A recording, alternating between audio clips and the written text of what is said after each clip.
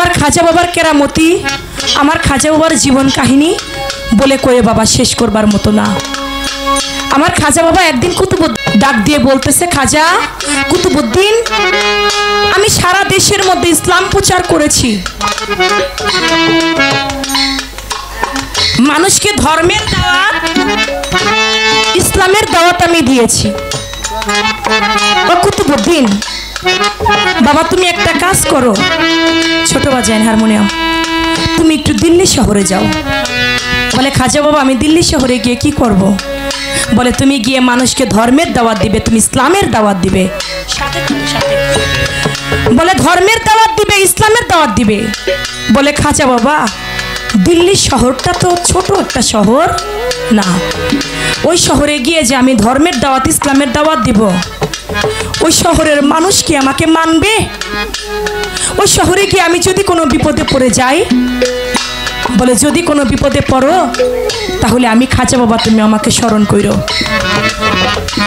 খাজা বাবার চরণের মধ্যে একটা ভক্তি দিয়া কুতুবুদ্দিন চলে গেছে দিল্লি শহরে। মানুষকে ধর্মের দাওয়াত দেয়, ইসলামের দাওয়াত দেয়। মুরিদ করে, বায়াত করে। হাজার হাজার মানুষ আমার খাজা বাবার হাতে হাত রেখে মুরিদ হয়েছে। বা যান কিছু সংখ্যক লোক আছে যারা আমাদের সমাজও আছে, যারা আমার খাজা বাবাকে বিশ্বাস করে না। যারা আমার বড় পীরকে বিশ্বাস করে না। যারা আমার আইনুদ্দিন ফকিরকে বিশ্বাস করে না। কোবাজান যারা ভান্ডারীকে বিশ্বাস করে না, যারা সুরেশ্বরী বিশ্বাস করে না। ওই রকম কিছু লোকও ছিল আমার খাজা বাবার বেলায়। তারা বলে, কিসের খাজা? কিসের কুতুবুদ্দিন?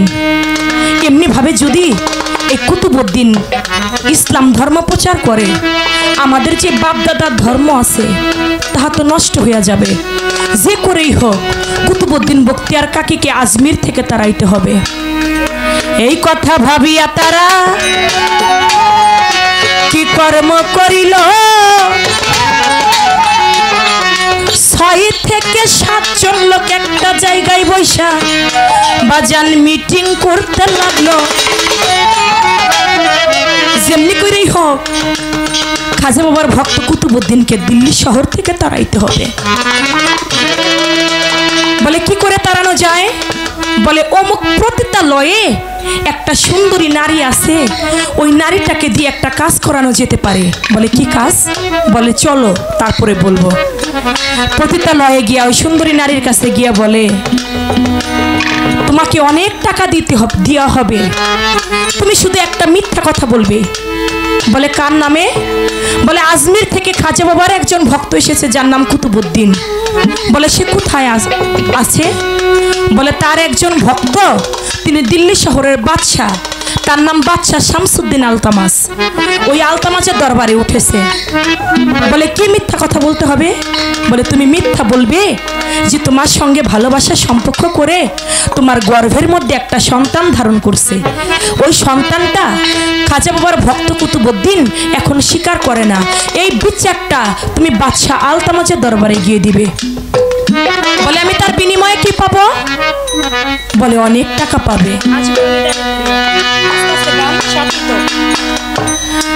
বলে ঠিক আছে আপনি অনেক টাকা দিবেন তার বিনিময়ে? বলে হ্যাঁ দিব।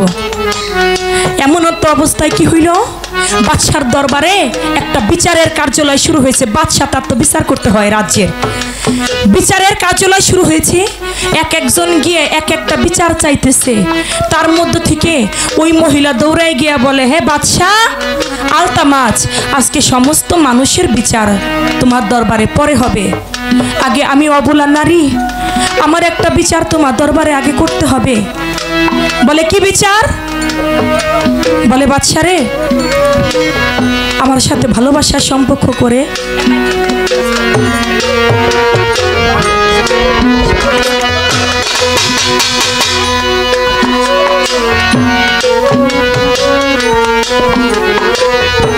আমার খাজা বাবা কুতুবুদ্দিন বক্তিয়ার কাকি। যখন চেয়ারে বসা, ডান পাশে চেয়ারে, বাম পাশে চেয়ারটার মধ্যে বাদশাহ আলতামাজ বসা। বলতেছে, বাদশাহ, আপনার দরবারে বিচারটা চাই। আমার সাথে এমন একজন ব্যক্তি ভালোবাসার সম্পর্ক করে আমার গর্ভের মধ্যে একটা সন্তান ধারণ করছে। এই সন্তানটা এখন ওই ব্যক্তি স্বীকার করে না। এই বিচারটা আপনার দরবারে করতে হবে। বলে, সে কি আমার দরবারে আছে? বলে হ্যাঁ আছে। বলে কোথায় আছে? বলে আপনার ডান পাশে চেয়ারের মধ্যে বসা। আপনি যাকে মুর্শিদ বলে জানেন আপনি যাকে দয়াল বলে জানেন আপনি যাকে পীর ভেবে ভজনা করেন আপনার দয়াল গুরু কুতুবুদ্দিন বক্তিয়ার কাকে আমার এত বড় সর্বনাশ করেছে। বলে আমি বিশ্বাস করি না। আমার দয়াল এমন কাজ করতে পারে না। এই মহিলা, তোমার কি কোনো সাক্ষী আছে? বলে হ্যাঁ আমার সাক্ষী আছে। বলে, কোথায় তোমার সাক্ষী? যে সাক্ষীগুলা দাঁড়িয়েছে, যারা ওই মহিলাটাকে ঠিক করেছে, ওই ছয়জন সাক্ষী দাঁড়িয়েছে। বলে, আমরা এর সাক্ষী। বলে, তোমরা কি দেখেছ? বলে, আমরা দেখেছি। প্রতিদিন যখন রাত্র হইতো, গভীর রাত্রে আপনার গুরু কুতুবুদ্দিন বক্তিয়ার কাকি ওই মহিলার বাড়িতে যাওয়া আসা করতো। বাদশা নন্দন, এ বড় বিশাল ঘটনা।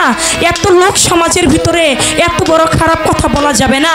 তবে এই মহিলার পেটে যে সন্তানটা, এই সন্তানের পিতা আপনার দয়াল কুতুবুদ্দিন বক্তিয়ার কাকি। যখন ছয়জন লোক সাক্ষী দিয়েছে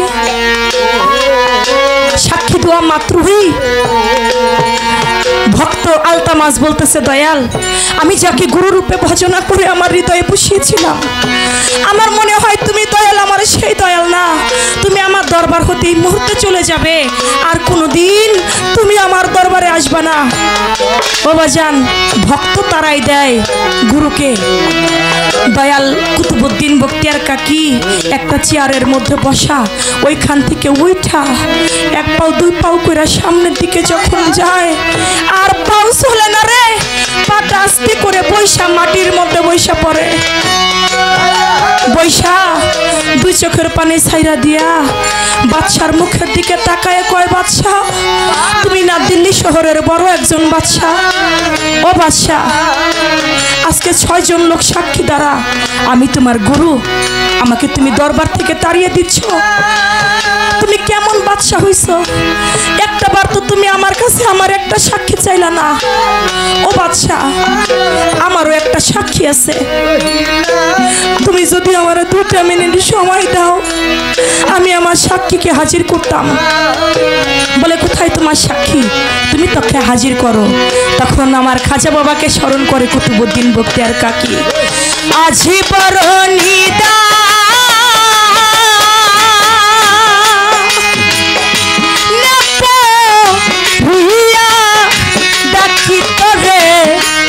রহিলা কুঠায় রে? দয়া আমা আজি বড়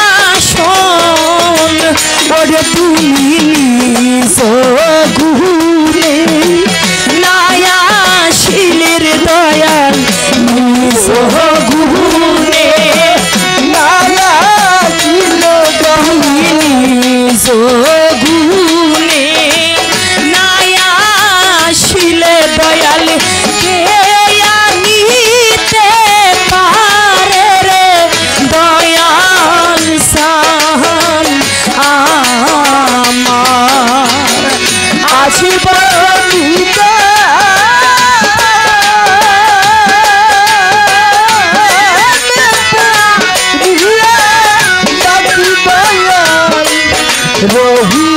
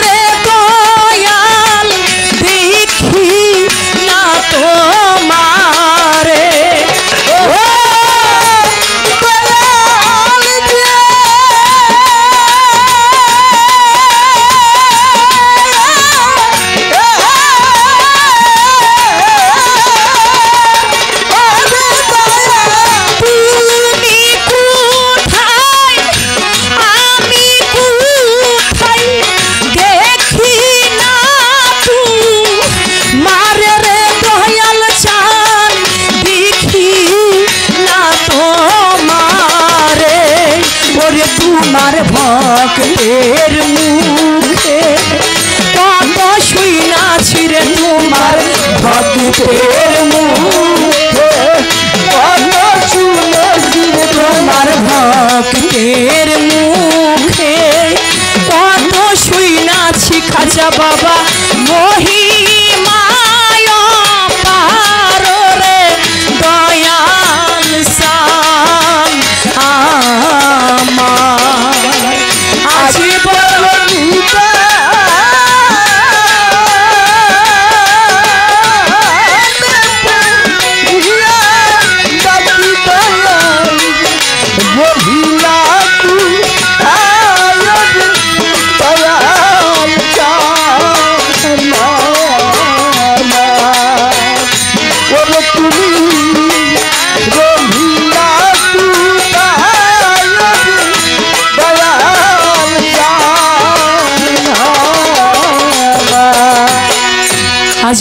নিদানে পড়িয়া ডাকি, তুমি রহিলা কোথায় ওর খাঁচা বাবা?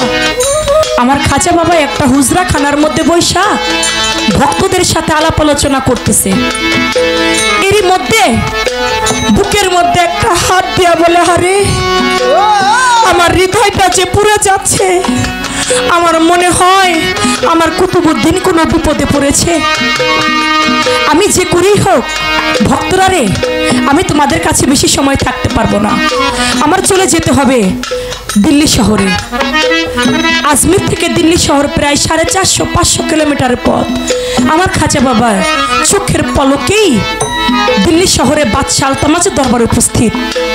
উপস্থিত হইয়া দেখে কুতুবুদ্দিন মাটির মধ্যে বৈশা বৈশা, শুধু খাঁচা বাবা খাঁচা বাবা বইলা, তুই বিনে দরদি আমার নাই, আমার খাঁচা বাবা, তুই বিনে দরদি আমার নাই। আমি যারে ভাবি আপন আপন, পৃথিবীতে সেই তো আপন নয়। তুমি বিনে এই সংসারে রে দরদি আমার নাই। আমার খাজা বাবাকে যখন কানতে কানতে ডাকে, আমার খাজা বাবা বলে কুতুবুদ্দিন বাবা তুমি মাটিতে কেন বসে আসো কি হয়েছে তোমার? কুতুবুদ্দিন বলে খাজা বাবা, আমার এই নিদান মুহূর্তে আপনি ছাড়া বড় সাক্ষী পৃথিবীতে আমার আর কেউ নাই। বলে, কি হয়েছে তোমার? বলে খাজা বাবা, ওই যে একটা মহিলাকে দেখতেছেন, ওই মহিলার গর্ভের মধ্যে নাকি আমি কুতুবুদ্দিন আমার একটা সন্তান আছে। ও খাজা বাবা ছোটবেলায় বাবাকে হারিয়েছি। জন্মের পরে মাকে হারিয়েছি। যৌবন বয়সে খাজা বাবা তোমার হাতে হাত রেখে আমি মরে তুইছি আমার যৌবনের ভাগটা তুমি তোমার উপরই তুলে দিছি তুমি ছাড়া আজ আমার বড় সাক্ষী কেউ নাই। ও খাজা বাবা, ওই মহিলার গর্বে নাকি আমার একটা সন্তান? খাজা বাবা, ওই মহিলার গর্বে আমার সন্তান কেমনে হইল? তুমি যদি সত্যি খাজা হও, তাহলে তুমি আজকে প্রমাণ করবা ওই মহিলার গর্বে কি সন্তানটা আমার কিনা। আমার খাজা বাবা বলে, সাক্ষী কারা? ওই ছয়জন লোক দাঁড়িয়েছে আমরা সাক্ষী। আমার খাজা বাবা বলে, সাক্ষী আমি মানি না। সাক্ষী মানি? এই গর্বের মধ্যে যে সন্তানটি আছে সন্তানের সাক্ষী আমি খাজা বাবা মানি। আমার খাজা বাবা তার শাহাদাত তাংলি ইশারা করে বলতেছে, "হে গর্বের সন্তান, তুমি বলো তোমার পিতাকে। গর্বের সন্তান আমার খাজা বাবাকে একটা সালাম দিয়ে বলতেছে, খাজা বাবা, আমার যিনি পিতা, আপনার কুতুবুদ্দিন না। যেই ছয়জন লোক এখানে সাক্ষী দিচ্ছে, এই ছয়জনের মধ্যে একজন মাংসের দোকানদার। আমার পিতা, আপনার কুতুবুদ্দিন নির্দোষ, আপনার কুতুবুদ্দিনের কোনো দোষ নাই। কুতুবুদ্দিনকে এই দিল্লি শহর থেকে তাড়াবার জন্য ওরা একটা ব্যবস্থা করেছে মাত্র। আপনার কুতুবুদ্দিনের কোনো দোষ নাই। দয়াল নাম যার হৃদয় ভরা, ভবে তার ভরা কি যায় রে মারা। তুই পরে দেখ না ঘূর্ণি দামে দেখবি আই নদী চাম্পর সামনে খানা। তার ভরা কখনো ডুবে না, যার মুর্শিদ নামে এর ভরাটা অটল থাকে। তাই আমার খাজা বাবার সেই গুণকীর্তন, তিনি গর্ভের সন্তানকে দিয়েও তিনি কথা বলিয়েছেন। খাজা বাবার জীবনী আমাকে দিয়েছেন, এটা বলে কয়ে শেষ করবার মতো না। তা আমি এ পর্যন্তই, পালাটাকে আমি রাখলাম আমার আসো এবার একটু বিচ্ছেদ দিয়ে আমি বসি। জলে পুরে হইলাম সারা কি করে? ওরে আমি জলে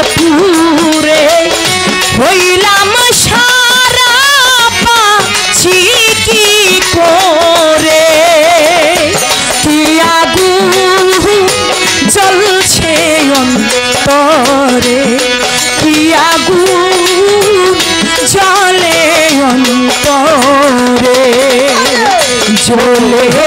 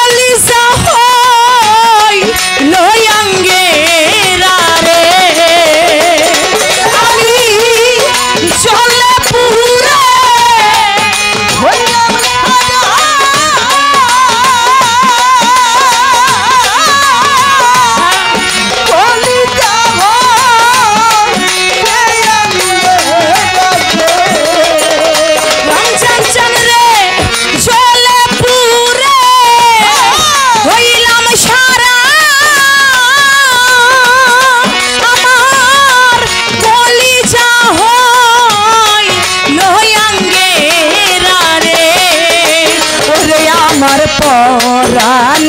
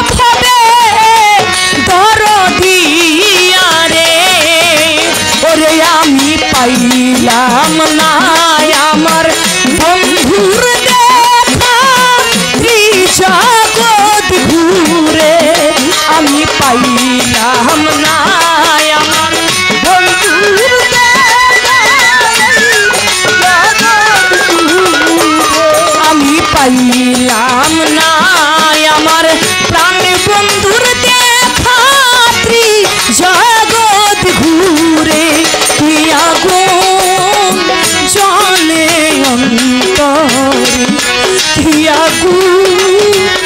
জলে অন্তরে? আমি চলে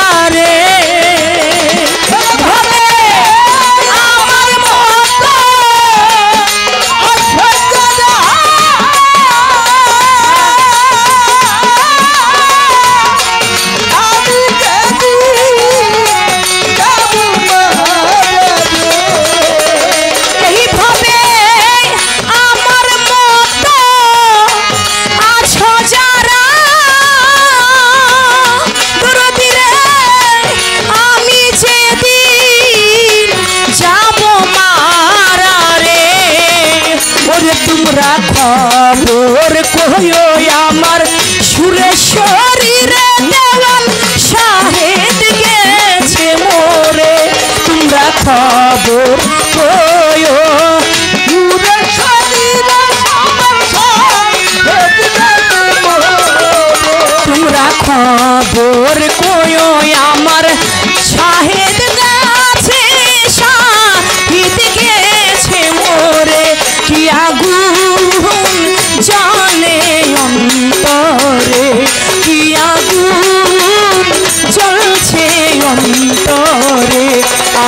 চলে